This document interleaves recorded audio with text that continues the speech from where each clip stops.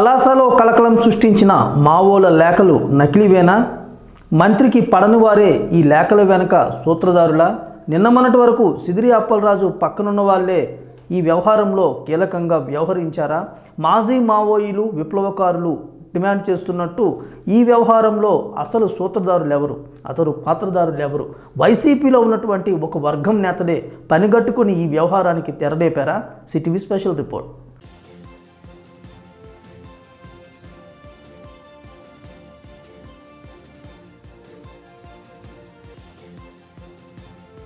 మంత్రి సిద్ధి అప్పలరాజు పద్ధతి మార్చుకోవాలి. అవినీతి ఆరోపణలు ఎదుర్కొంటున్న మంత్రి తన వ్యవహార శైలిని మార్చుకోవాలి. మంత్రి అనుచరుల ఆగడాలు తగ్గించాలి.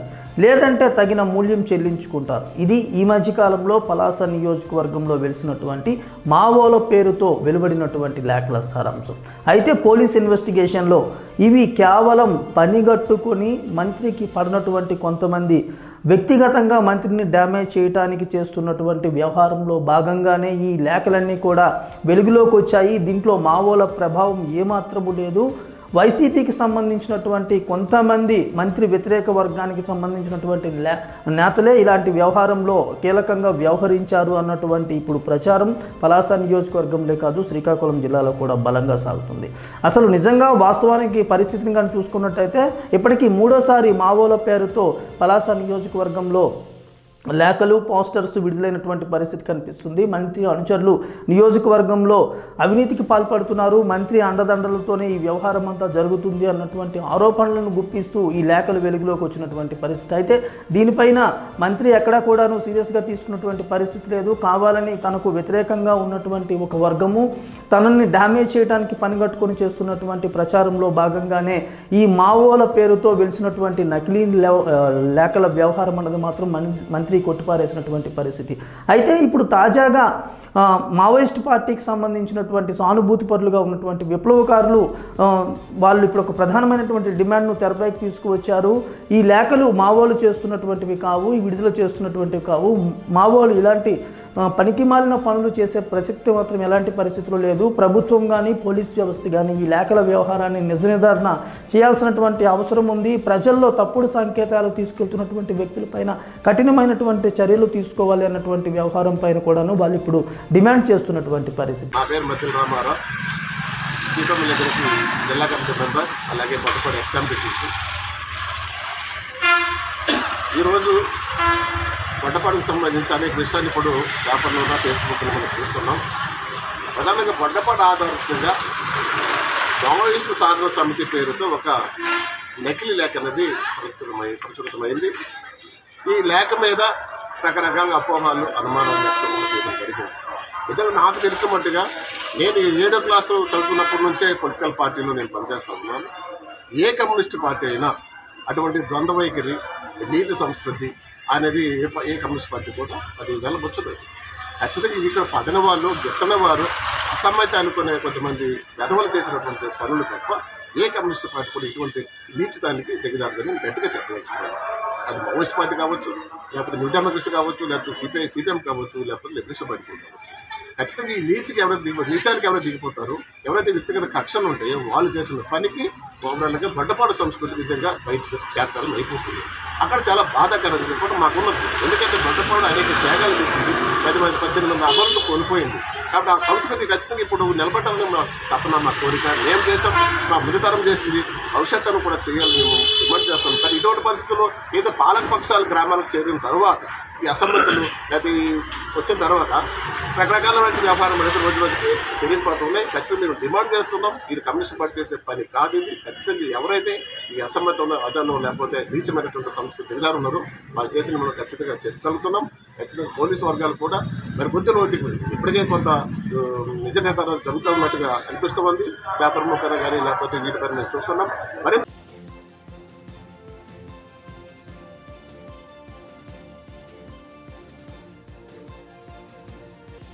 ఈ క్రమంలోనే రెండు మూడు రోజులాగా పలాస నియోజకవర్గంలో ఇప్పుడు ప్రధానంగా ఒక సంఘటన అన్నది మాత్రం రాజకీయ వర్గాల్లోనే కాదు సామాన్య ప్రజల్లో కూడా కొంత ఆసక్తిని క్రియేట్ చేస్తున్నటువంటి పరిస్థితి కనిపిస్తుంది.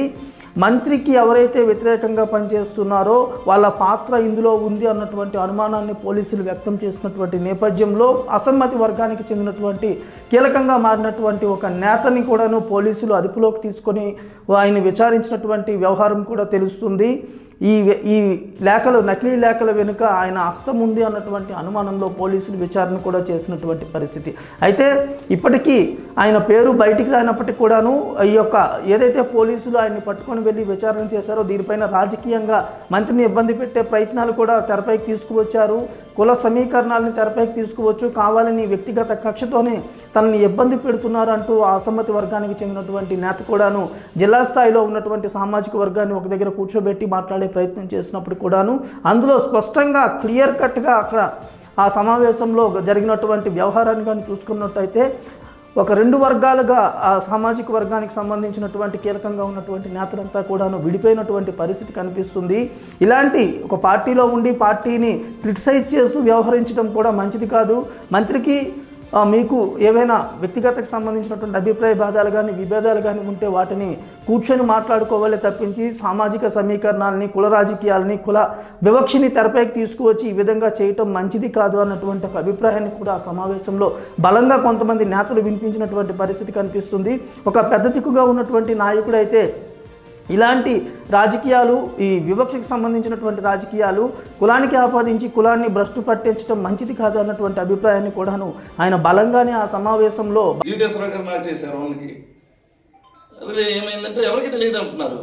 మరి డైరెక్ట్గా నేను చేశాను అందరికీ చేశాను నేను ఒక ప్రెసిడెంట్ని స్పీకర్ గారికి చేశాను కోన్ రవి గారికి చేశాను దవాడు శ్రీని గారికి చేశాను తిలక్ గారికి చేశాను అప్పల రాజు మినిస్టర్ గారికి కూడా చేశాను. అయ్యా పలాసులు జరిగిందని తెలిసింది. అసలు ఏంటి సమస్య? ఏంటి జరుగుతుంది అక్కడ? కులమందరూ కూడా దీని గురించి చర్చించుకుంటున్నారు. కాబట్టి సమస్యను పరిష్కరించే విధంగా వెళ్ళాలి మనము. అలాగని వెంటనే సూర్యం నేను ఇంటి ఇప్పుడే డిఎస్పీతో మాట్లాడతాను. నాకు కూడా ఈ విషయం తెలియదు అని చెప్పి అన్నారు. అక్కడ పావు గంటకి మళ్ళీ ఫోన్ వచ్చి ఈయనకి విడిచిపెట్టారని నాకు పలాస నుంచి ఫోన్ వచ్చింది. వెంటనే స్పీకర్ గారికి కూడా తెలియజేసి కృతజ్ఞతలు చెప్పాము. అంటే ఇక్కడ విషయం మీరు బాగా గమనించాల్సింది ఒకటి ఉంది. ఆయన రాజకీయంలో ఉన్నారు. రాజకీయ నాయకుల దగ్గరికి అందరూ వస్తారు. రాజకీయ నాయకుడు అక్కర్లే నీ వల్ల హెల్ప్ జరుగుతుందంటే ప్రతి ఒక్కరు వచ్చి నాకు ఈ బాధ ఉంది అని చెప్పుకుంటారు అది. దాంట్లో ఎవరో వాళ్ళ తల మీద రాసి ఉండదు వాళ్ళు ఎవరో నాకు స్లైట్లో ఎవరు అనేది రాసి ఉండదు. ఆ రకంగా వచ్చి ఉండొచ్చు. అలాగని పోలీసులు చేసింది కూడా అక్కడ తప్పని మనం అనడానికి లేదు. ఇన్వెస్టిగేషన్ అది. అక్కడ మీకు అరెస్ట్ చేసేసి జైల్లో ఉంచేసి మగ్గించి చేయలే. మీ సెల్లో వాళ్ళ కాంటాక్ట్ వాళ్ళ డౌట్ ఉన్న కాంటాక్ట్ నెంబర్లు ఉన్నాయి. నక్సలిజం అనేది అణచివేయబడుతుంది. మన స్టేట్లో నక్సలిజం అనేది రూపురేఖలు లేకుండా చేశారు. ఇలాంటి సందర్భాల్లో కూడా కరపత్రాలు వచ్చాయి బయటికి. ఆ కరపత్రాలు వచ్చే వాళ్ళకి ఇన్వెస్టిగేషన్ జరుగుతుంది అసలు. ఎవరు ఏంటి నీకు ఎందుకు వచ్చింది నువ్వు గొడవ పెట్టామని అడుగుతున్నారు పోలీసులు. ఆ క్రమంలో వాళ్ళ కాంటాక్ట్ నెంబర్లు మీ కాంటాక్ట్ నెంబర్ ఉంది. ఎందుకు ఉంది? వాళ్ళు మాట్లాడారు. బలంగా వినిపించినటువంటి పరిస్థితి దీంతో రెండు వర్గాలుగా విడిపోయినటువంటి నేతలు కలబడినటువంటి సిచ్యువేషన్ కూడా ఉన్నటువంటి అంశం మాత్రం స్పష్టంగా అర్థమవుతుంది. మొత్తంగా ఈ యొక్క ఎపిసోడ్ తిరిగి తిరిగి సొంతింటికి సంబంధించినటువంటి నేతలే మంత్రి పైన విద్వేషాలని పెంచుకొని మంత్రి ఎదుగుదలను చూసి వరవలేక మంత్రికి ప్రజల్లో ఉన్నటువంటి ప్రజా బలాన్ని జీర్ణించుకోలేక ఈ విధమైనటువంటి వ్యవహారాన్ని చేస్తున్నారు అన్నటువంటి అంశాన్ని మంత్రికి సంబంధించినటువంటి అనుచరవర్గం బలంగా నమ్ముతున్నటువంటి నేపథ్యంలో ఈ రెండు మూడు రోజులుగా జరుగుతున్నటువంటి పరిణామాలు మాత్రం ఖచ్చితంగా అసమ్మతి వర్గానికి సంబంధించినటువంటి కొంతమంది పనిగట్టుకొని మంత్రి పైన దుష్ప్రచారం చేస్తున్నారు. అందులో భాగంగానే ఈ నకిలీ లేఖలు మావోలు పేరుతో విడుదల చేసినటువంటి పరిస్థితి ఉంది. దీనిపైన ప్రభుత్వం మాత్రం చట్టపరంగా ముందుకు వెళ్తుంది. పోలీసులు మాత్రం ఏదైతే అనుమానం వ్యక్తం చేస్తున్నారో అది నిజమయ్యే అవకాశం కూడా ఉంది అని చెప్పి మంత్రికి అనుకూలంగా ఉన్నటువంటి నేతలు మాత్రం చెప్తున్నటువంటి మాట. వ్యవహార శైలిని కానీ ఇక్కడ జరుగుతున్నటువంటి పరిణామాలు కానీ జరుగుతున్నటువంటి ఈక్వేషన్స్ని కానీ మనం పరిశీలించినట్టయితే దీనిపైన ఒక క్లారిటీ మాత్రం ఖచ్చితంగా వచ్చే అవకాశం ఉంది. ఎందుకంటే శ్రీకాకుళం జిల్లాలో మావోల ప్రభావం బలంగా ఉన్నటువంటి ఈ ప్రాంతంలో మావోల ఉనికి తప్పింది. ప్రశాంతంగా మా వాళ్ళు కూడాను జిల్లాకు సంబంధించినటువంటి ఎక్కడ కూడా అలజడి కానీ లేకపోతే వాళ్ళకి సంబంధించినటువంటి యాక్టివిటీస్ కానీ లేకుండా పోయినటువంటి నేపథ్యంలో పోలీసులు ఒకవైపు ఊపిరి పీల్చుకుంటున్నటువంటి తరుణంలో ఇలాంటి నకిలీ లేఖల పేరుతో మళ్ళీ ప్రజల్లో భయాందోళన క్రియేట్ చేయటం రాజకీయ పక్షాల్లో కూడా భయాందోళన క్రియేట్ చేసే వ్యవహారాన్ని మాత్రం ఎట్టి పరిస్థితుల్లో ఉపేక్షించేది లేదు. దీని వెనుకట్ల ఎవరున్నా కూడాను వాళ్ళకి మాత్రం చట్టపరంగా శిక్షిస్తామని చెప్పి పోలీస్ అధికారులు బలంగా చెప్తున్నారు. మొత్తానికి ఈ జరుగుతున్న పరిణామాలు పలాస నియోజకవర్గంలో కొంత హీట్ను మాత్రం రేకెత్తిస్తున్నాయి. అధికార పార్టీలో ఉన్నటువంటి రెండు వర్గాలు ఈ యొక్క వ్యవహారాన్ని ఏ విధంగా తమకు అనుకూలంగా మార్చుకోవాలన్నటువంటి అవకాశ పరిస్థితిని కూడా క్రియేట్ చేస్తున్నటువంటి నేపథ్యంలో మునుముందు ఏం జరుగుతుంది అన్న అంశంపై మాత్రం కొంత ఆసక్తి మాత్రం నెలకొంది. కొంత